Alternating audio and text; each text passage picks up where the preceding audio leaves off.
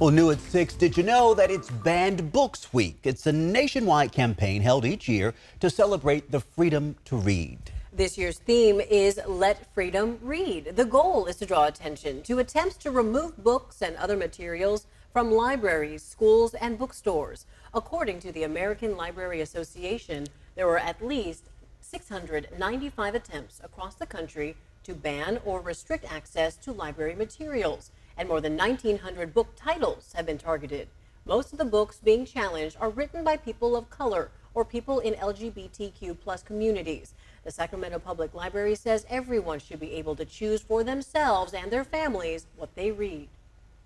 Banned Books Week is important because it really highlights the purpose of America's public libraries, which is to let anyone use the resources we have to better their lives.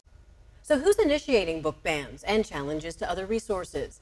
The ALA says most of them are started by parents. Governor Newsom recently signed a bill into law that ends book banning in California schools.